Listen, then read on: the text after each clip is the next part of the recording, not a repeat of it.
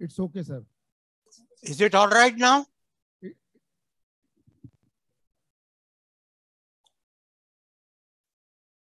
Well, dear friends, you know that we made tremendous strides in the control of cardiovascular disease, but the results have not been up to the level expected by the various methods which we have adopted. And one of the important reasons is that diabetes is the single largest cause for cardiovascular disease all over the globe and especially in our country.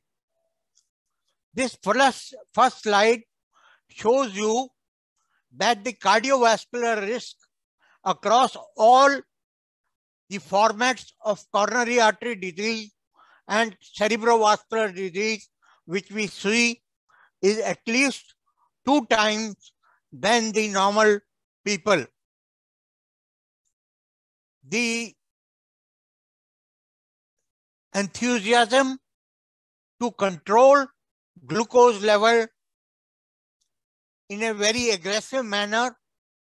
We had the court trial. And then we had the Veterans Administration trial in which there was marked control of the hyperglycemia, but to our surprise, in the Accord trial, we found that the morbidity and mortality increased. Similarly, a drug which was introduced, that is rosiglitazone, also showed an increased propensity to cardiovascular events. So therefore, the lessons which we learned by them was it's a major cause of morbidity and mortality in patients with diabetes. Cardiovascular disease management is an expensive proposition and when treated with intensive control is not associated with reduction in the risk of macrovascular disease over a three to five year time.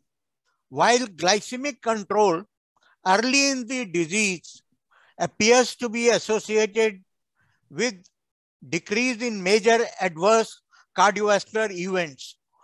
Most of the long-term cardiovascular outcome trials are in patients who have either marked risk factor for cardiovascular disease or cardiotherosclerotic cardiovascular disease per se.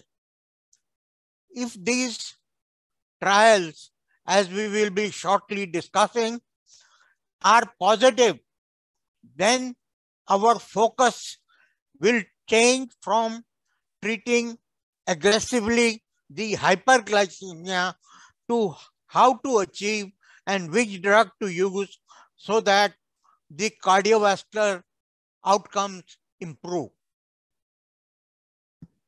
Since the year 2008, when FDA made it mandatory for conducting the trials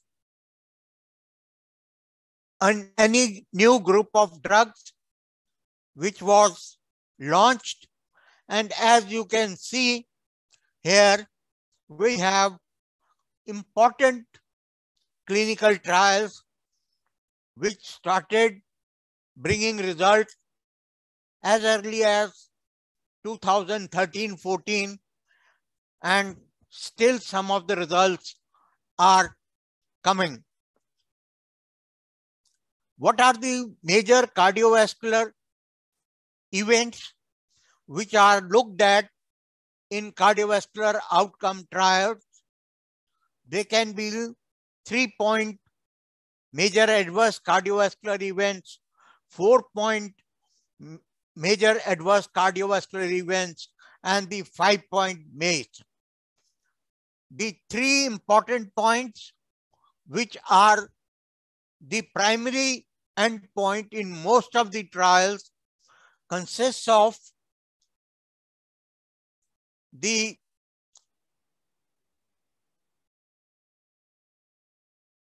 non-fatal myocardial infarction,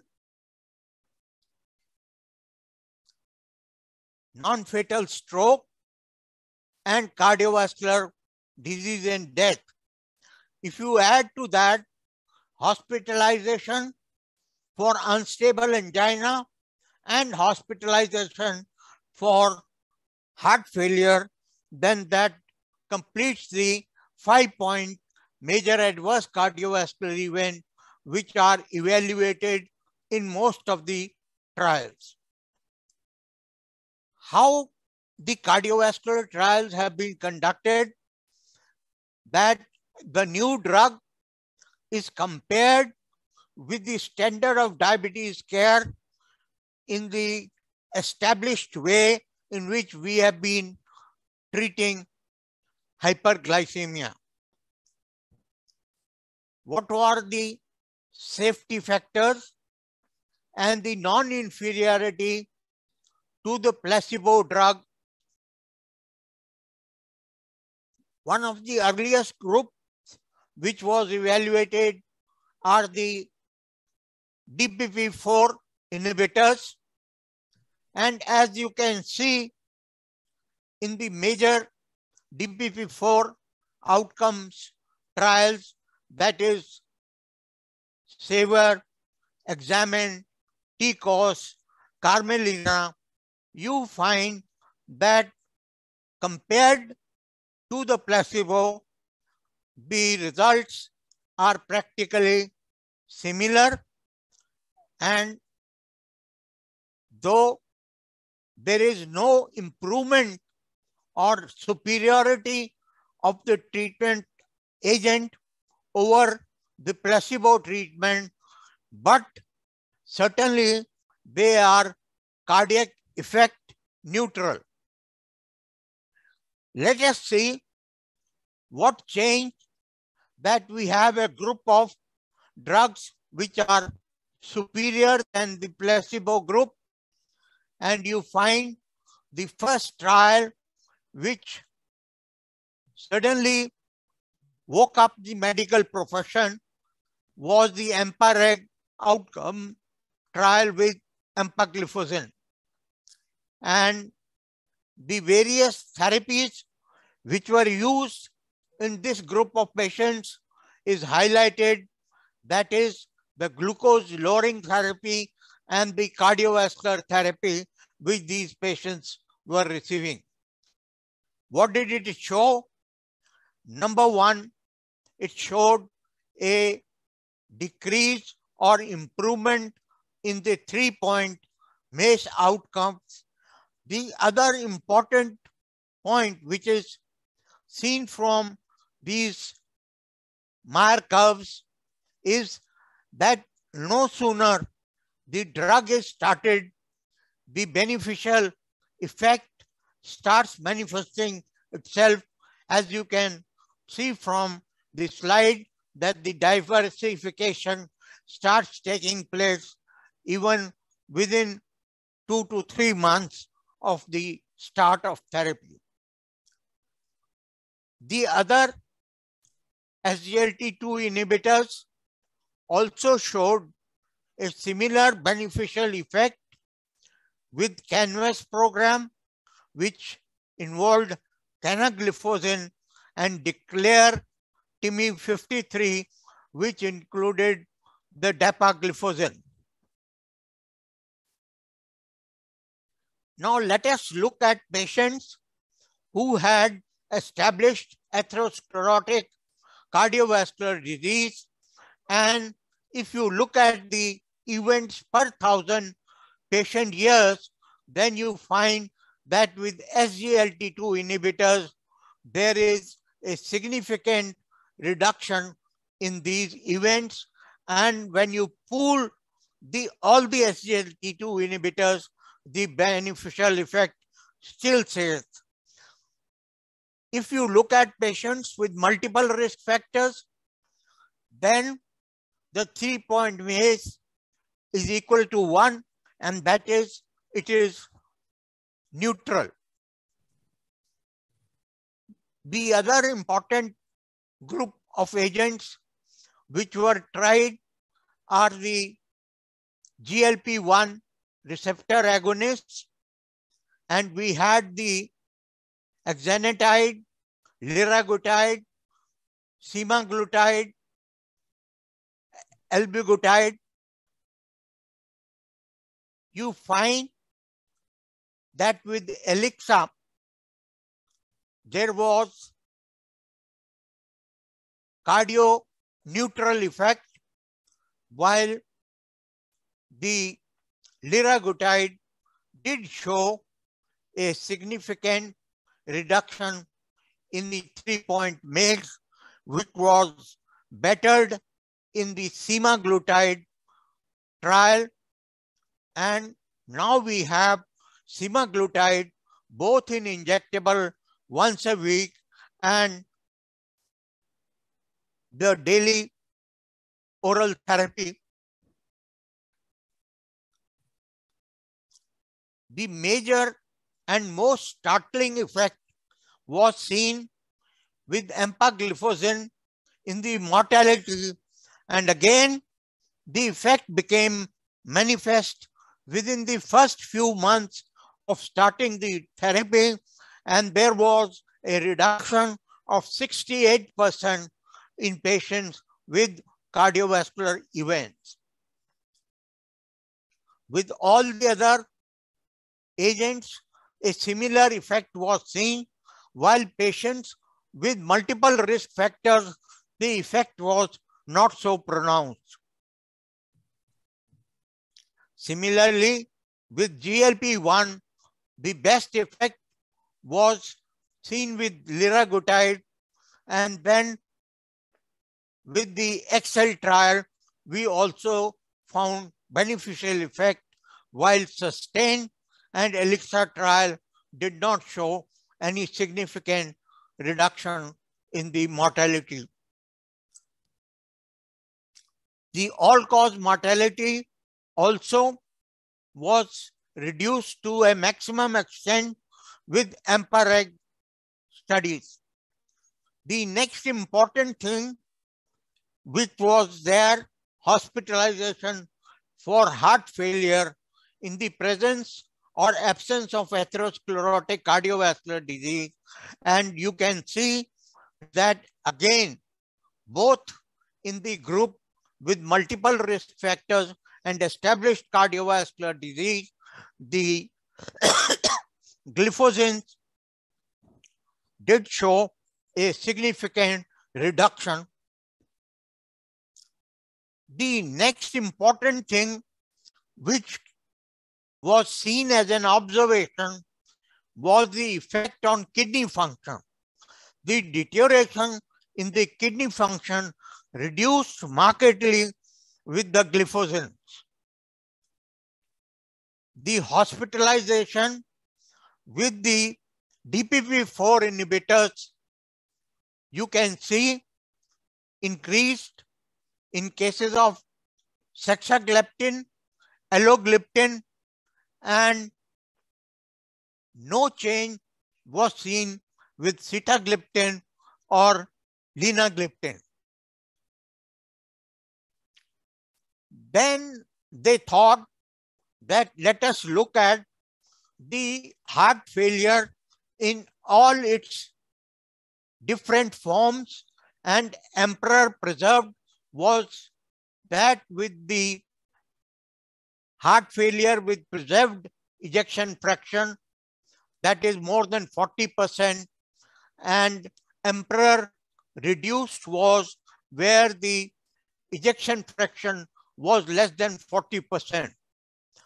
Dapagliflozin was also evaluated with dapagliflozin heart failure trial where the ejection fraction was more than 40%, while dapagliflozin with the reduced ejection fraction, it was less than 40%.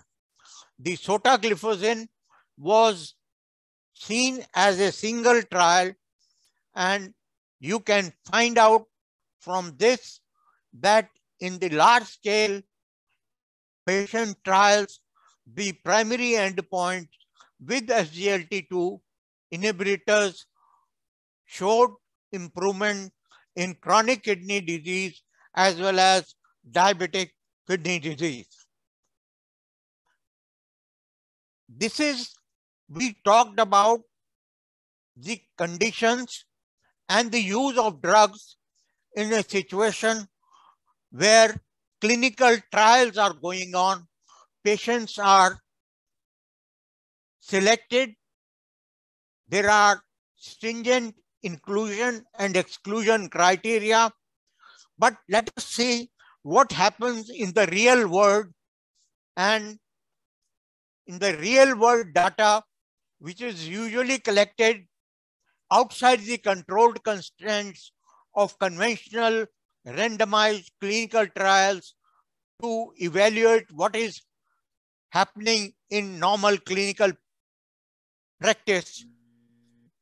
And what we found out was that with the real world data, again, you can see heart failure, heart failure or death significantly reduced with the SGLT2 or 1 inhibitors. The same point was highlighted in case of empagliflozin by a trial called EMPERAL. How did it change the practice?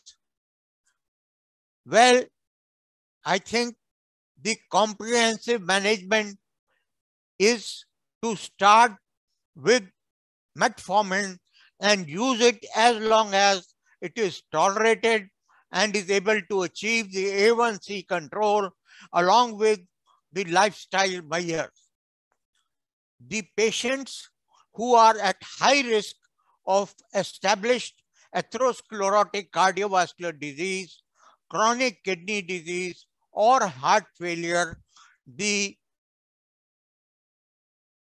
thought process switched over from the conventional therapy to SGLT2 inhibitors, use of GLP-1 agonists, and third in position were the DPP-4 inhibitors. If you get a control in the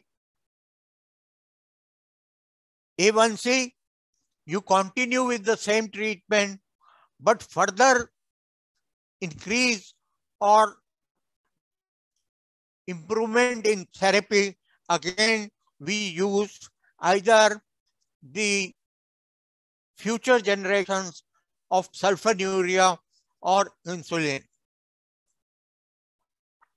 Here, if the HbA1, HbA1c is above target, despite the recommended first line treatment and the patient has atherosclerotic cardiovascular disease or CKD, if cardiovascular disease predominates, then you use a GLP-1 receptor agonist with proven benefit or add SGLT2 inhibitor with cardiovascular benefit.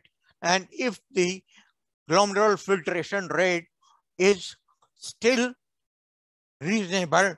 And similarly, if there is heart failure or CKD, first choice will be SGLT2 inhibitor.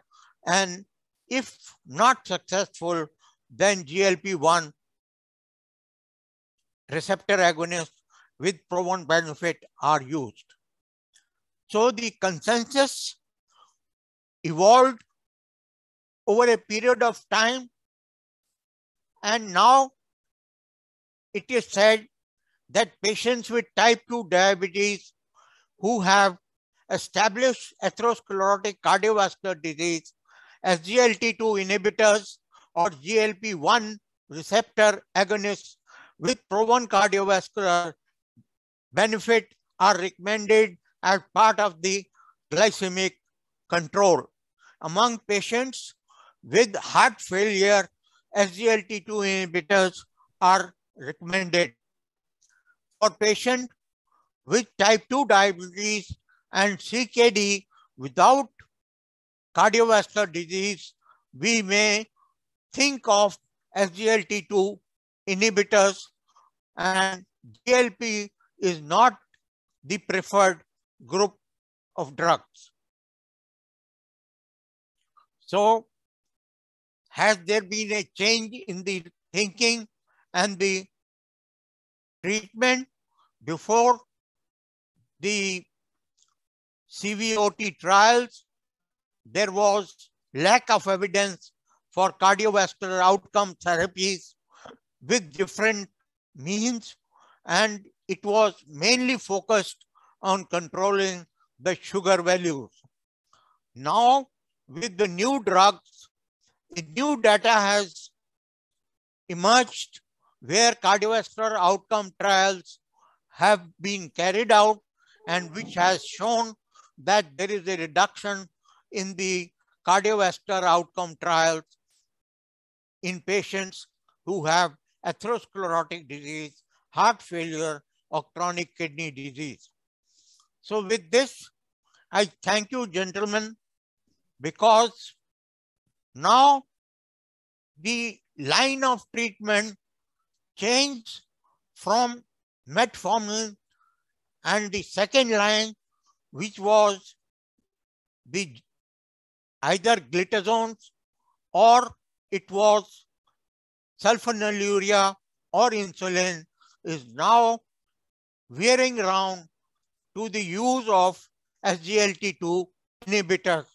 Therefore, I think for the benefit of your patients, and if cost is not a major constraint, then SGLT2 inhibitors or GLP-1 receptor agonists may be used to reduce the burden of cardiovascular disease in diabetes. Thank you very much for your patient attention and listening.